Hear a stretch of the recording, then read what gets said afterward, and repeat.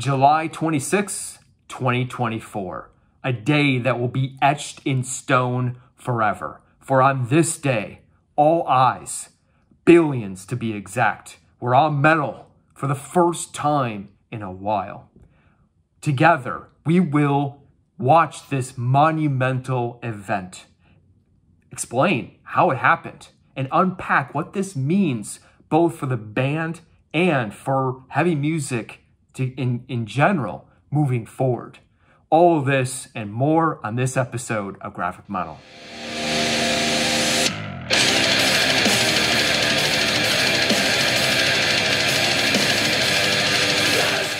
Hey rockers, I'm Veer Von Wright and you're watching Grafikmetal, where metal is celebrated with design in mind. Congrats to Gojira for winning the Olympic gold medal and representing all of heavy music with pride and bringing it back to the mainstream pop culture. Today sure was a monumental day, but before we show the full performance, give you the band's history and unpack what this means moving forward, let's rewind a bit because, well, I told you this would happen.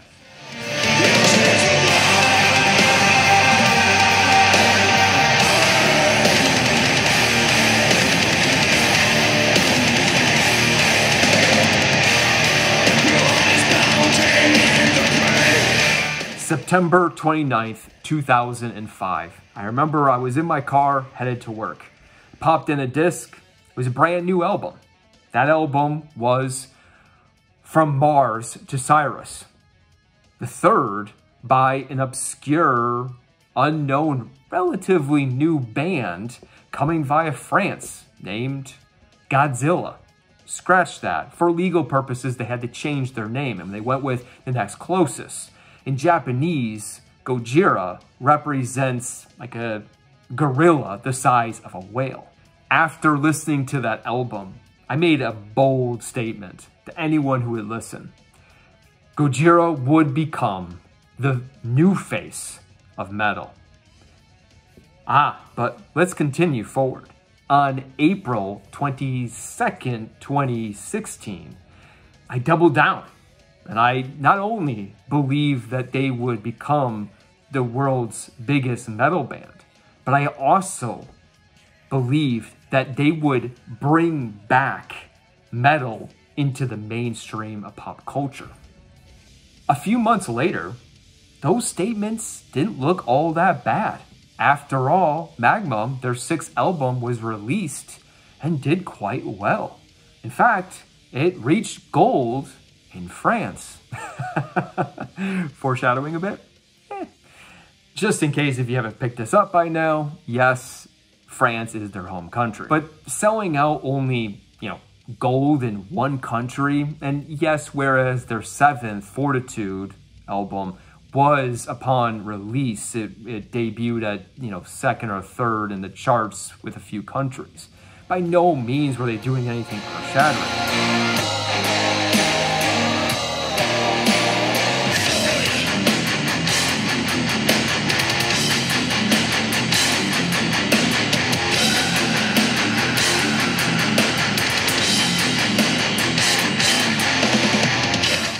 Were, however, still doing something damn impressive. In fact, almost downright impossible. You see, Metacritic score, for those who are familiar, it's like an aggregator. It's like kind of like the universal uh, aggregator score system, right? 80 and above is unbelievable. You pull that off once, and that in itself is a feat to do. But in Gojira's case, they've managed to do this now five times in a row. You see, five albums since From Mars to Sirius. All of them have average an 80 or above Metacritic score. It's unbelievable. It's unheard of. Ridiculous, right? This is reason number five as to why I believe that they have reached this level, you know, the Godzilla of metal, and were picked to represent both their country and all of heavy extreme music, you know, for the opening ceremonies of the Olympics because you have to understand, like, on the surface, it doesn't seem like they're doing much. However, that stock, that value system behind the scenes, underneath the layer, right? Kind of like the iceberg factor, right?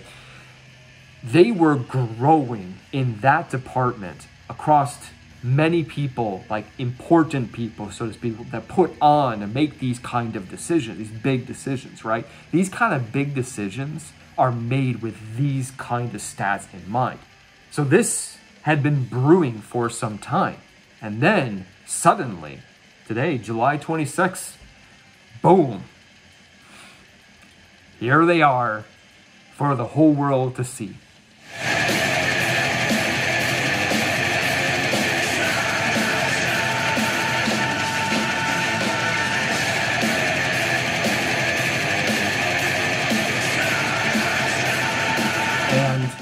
We couldn't have really picked a better band to represent extreme metal. As for the band themselves, they formed back in 1996 via Landes, France.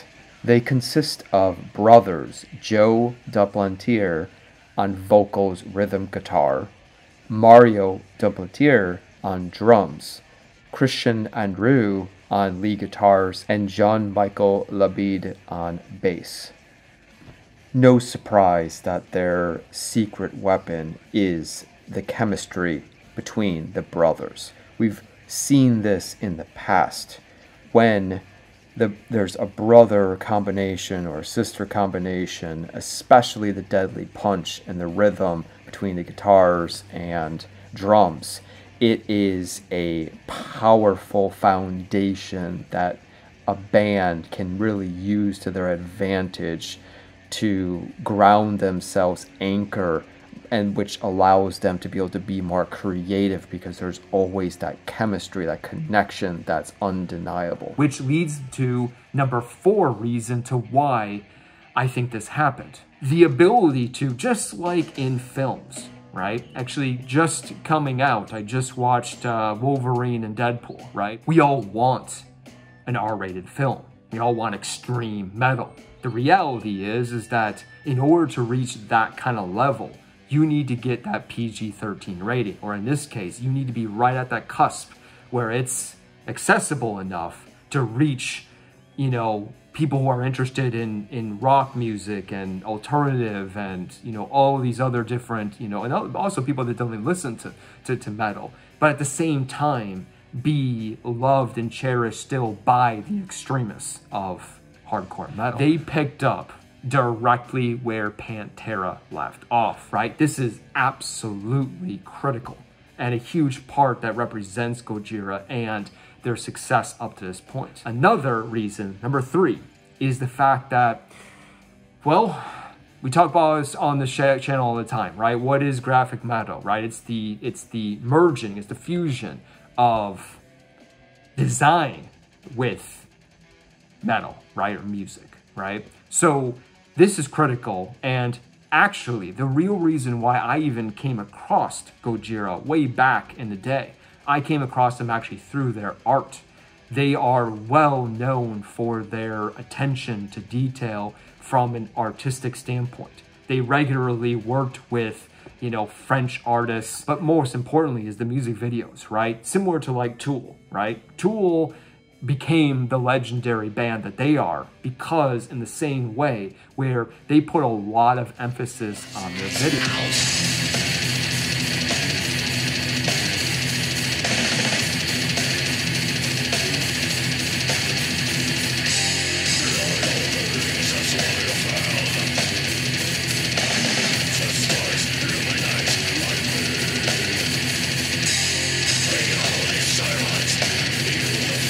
I remember it was always, and to this day, it's always been uh, exciting to get uh, when, it, when a new uh, music video of theirs drops, and quite frankly, anything that they do, because it's always going to bring a level of artistic design and creativity to it that is unmatched.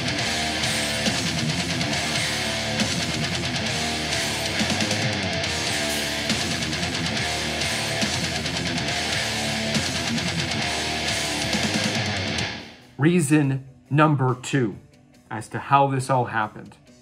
Well, we actually just talked about it on our most recent episode, uh, which we unpack uh, album covers, right? Uh, uh, album covers go to hell, right? So we gave a, a, guide, a design guide as to how, what it takes to become uh, an iconic album cover. And so it's basically like, like a design, uh, you know, checklist, so to speak, right? Um, check it out if you haven't watched it yet. But basically, in the same way, once it reaches to a certain point, there is something that's not in your control, and that is timing. We hear this all the time in everything. Timing, context, right, plays a huge role. In this case, this is a, a key factor because we already talked about not only are they like literally the one and only true success story band from a from an extreme metal standpoint uh, from from France, right? That are the country that is hosting this uh, Olympic Games. You see, it makes sense. Uh, the when the decision was uh, to make a portion of the festivities ceremony in dedication to Les Miserables, it makes sense to bring the intense energy of the likes of a performance from a, a metal band. Uh, it was in collaboration with singer Marina Viotti and with the art direction of uh, Thomas Jolly. It was the Liberté uh, portion of the festivities and it uh, showcases, you know, the facade of, of the castle where uh, where a beheaded Maria uh, Antoinette uh, is initially singing to you know to the crowd, and then it shifts to uh, the band performing in the different windows of the castle. And in classic fashion of metal, you have you know, the fire flames going off and uh, the red streamers at the, at the end and, and also the, the boat which carries the, the opera singer um, during, during, during uh, the, the segment. Uh, in case if you were wondering, you know, I think that Gojira does represents metal with pride. I think they do a fantastic job being true to who they are, right? They didn't hold back. They brought the intensity and the electricity that they're known for. They even they brought the double kick, you know, from you know the brother uh, Mario, and uh, just the they even had a breakdown, uh, which is I mean, that was, I think, the biggest surprise was just that, you know, to bring that, you know, that energy and that even, you know, do the classic breakdown was just, uh, it was a beautiful, amazing thing to, to be had. I, I, I genuinely think, like, not even, you know, moving as a metal fan aside and, and a Gojira fan um, aside, it's just, I think it was well, well, well conceived and, and, and well um, brought to life. I thought it was very well done. And I think that the reception seems to be early responses is that people seem to really be genuinely liking it, which is which is amazing. Um, and that leads to uh, the number one reason why uh, they they ultimately got picked is because they're from France, right? But here's the thing, I'm going to look at this in a different way. Whereas this is true, but think of the work, the hard work that they put in to get this far. I kind of was alluding to it in the beginning. It's like, I remember uh, way back first getting introduced by them. I remember being like, from France? They even have metal? That even exists? Uh, no one had ever heard of metal coming from France. This was not something that uh, was was known to to exist, right? Uh, so we all know it's right becoming increasingly difficult to stand out from the car from the from the crowd, right? For them to have been able to get through all of those obstacles, right, is utterly impressive, and they uh, they earned it, I guess is what I'm saying. Uh, right. But in general, yes, Metallica, you can be heard, Pantera can be heard, any death metal band can be heard, uh, and so forth. But generally speaking, actually Meshuggah too, that's another one, right? Uh, and Tool, right? keep we can keep going, right? The point is, is is that yes, they take the inspiration, right? But they found a uniqueness, right? Uh, a, a little gap in between all these different circles and found them themselves, Gojira, their brand, their representation into the world. They they brought something new to the table one of the things that I've always loved uh, about them is is that they are easily recognizable. I don't. It doesn't even seem to matter what level of, of fandom you are towards them.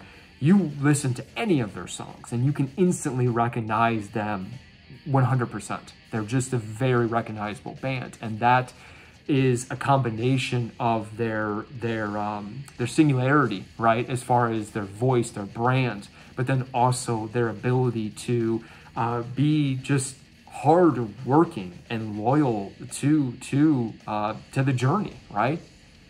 Success is paved through through hard work, right? And they put in the hard work.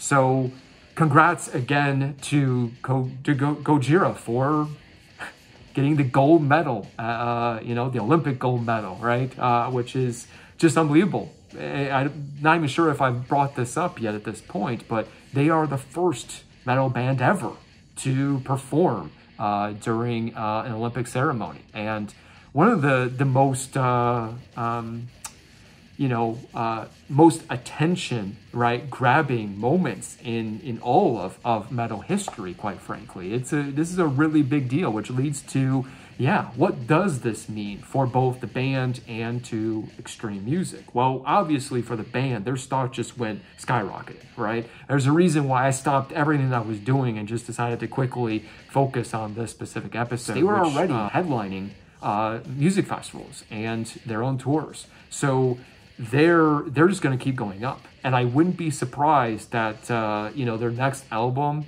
I wouldn't be surprised if it at least a bare minimum sell it goes gold. I think it I think it will go gold, and I would say in three at least three countries. I'll I'll, I'll go on record in, in, in saying that. I don't know about platinum.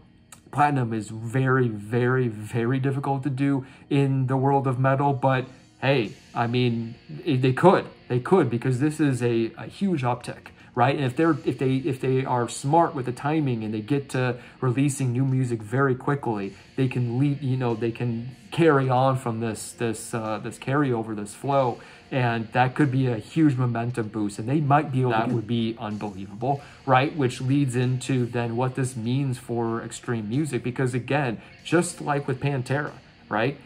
Make no mistake about it, this isn't just a metal band. Gojira is, they're an extreme metal band. There's no denying.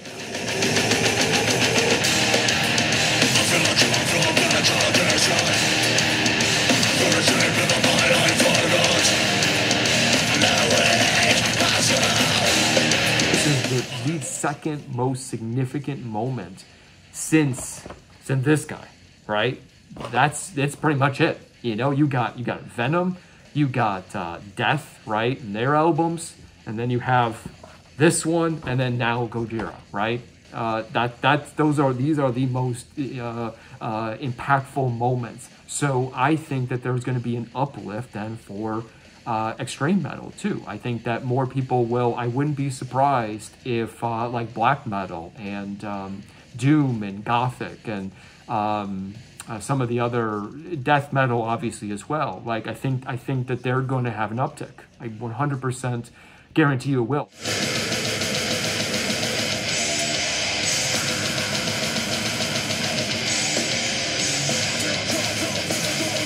I think that there is a lot of exciting times for um, for for rock and metal. So with that said, uh, this has already been now a lot longer episode than I was expecting. So I appreciate if you have actually survived all the way through this. Again, I'm Veer Von Wright. You've been watching Grafikmetal. Please support this channel as best as you can. Uh, and again, we got a lot of exciting things coming very, very soon.